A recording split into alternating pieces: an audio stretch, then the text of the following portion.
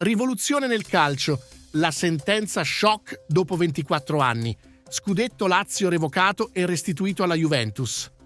Dopo 24 anni di attesa è finalmente giunta una sentenza che potrebbe riscrivere la storia del calcio italiano.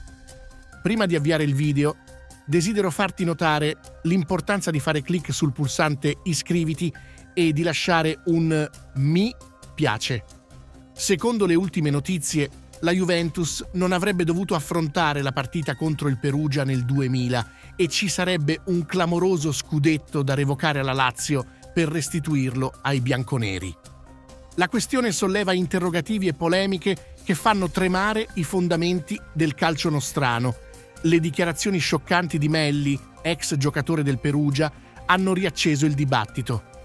Ha rivelato che negli spogliatoi Provammo a metterci d'accordo con la Juventus per pareggiare, in modo che loro potessero disputare lo spareggio.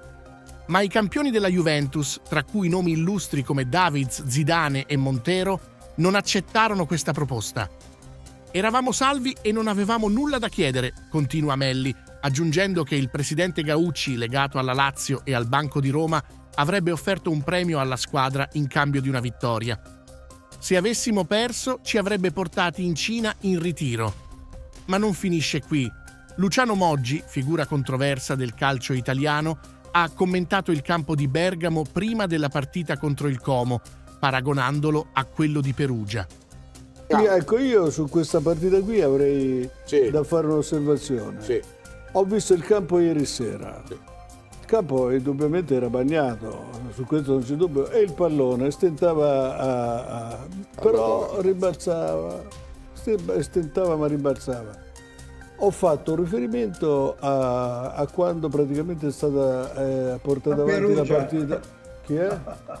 A Perugia. Oh, ciao, pensavo non fosse, un attimo pensavo non fosse una voce dall'aldilà. Scusa, scusa. Pensavo che fosse quel film, il terzo film della sera, dopo aggiunge un posto al ghost. Cioè, fosse no, ma comunque, no, no, ma ha ragione. Allora, io eh, facendo un raffronto tra due campi, praticamente è ridicolo aver proseguito una partita dove si è battuto il record mondiale 74 minuti tra un primo tempo e un secondo. Se io praticamente avessi voluto portare via la squadra dopo 45 minuti la portavo via. Invece per non passare da arrogante ho lasciato perdere e abbiamo aspettato abbiamo perso la partita. Dopodiché, dopodiché e, questo, sì, diciamo, e dopodiché eh, il problema sai cosa è successo? Hanno instaurato il, il processo praticamente di Calciopoli su quella partita perché se legge Auricchio, sai cosa ha detto Auricchio? Da quella partita la Juventus ha cominciato a, a parlare con le società di calcio, le, nella fattispecie il Perugia e con i giocatori del Perugia per vincere la partita che al Perugia non interessava e alla Juventus sì per vincere il campionato.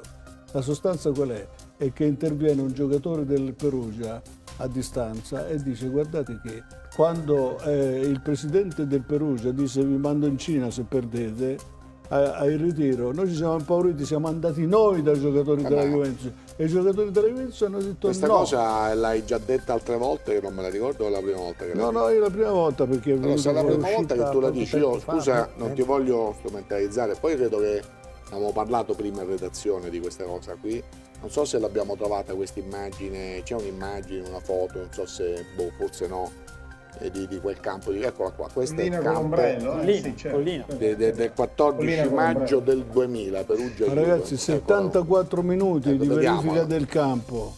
Ieri è bastato 5 minuti per stabilire in un campo che sicuramente era molto meglio di quello. Anzi sì. non c'era proprio confronto. Tu sai Luciano che questa incredibile vicenda di collusioni interessi e minacce apre un vaso di Pandora che potrebbe avere ripercussioni ben oltre il campo perché alcune accuse di Calciopoli cadono.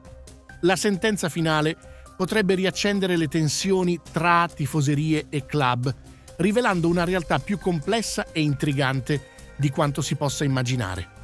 Ora, la domanda che tutti si pongono è cosa accadrà ora? La Juventus avrà finalmente giustizia o rimarrà tutto come prima? Perché la Juventus è stata indagata e il Perugia no? Scriveteci nei commenti le vostre opinioni e preparatevi per un dibattito acceso.